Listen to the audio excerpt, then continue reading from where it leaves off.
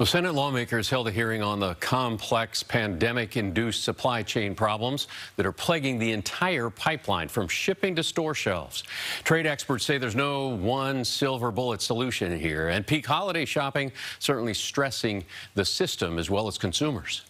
Preferred Popcorn CEO Norman Krug told lawmakers it typically took 37 days to get his product from Nebraska to Tokyo. And now? The actual transit time now would be 60 to 90 days to get that product shipped.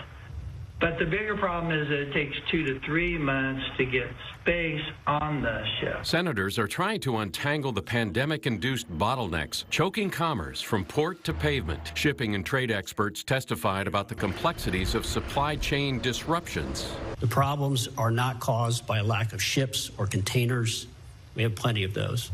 The problem is when we get to port, we can't get in. To me, it's not a workforce shortage so much as it is a uh, quality of jobs problem and a pay shortage. Lawmakers are considering various solutions for multiple points in the supply chain, but none can come quickly enough for the holidays. The National Retail Federation says many consumers took the advice to shop early with 180 million shoppers opening their wallets this past weekend. Retailers, again, are trying to make sure shoppers have not just have options. While you might not be able to get your first choice, there will be other products there for you to, to select from. Some tips if you're still checking that list watch for restocks, more merchandise may arrive.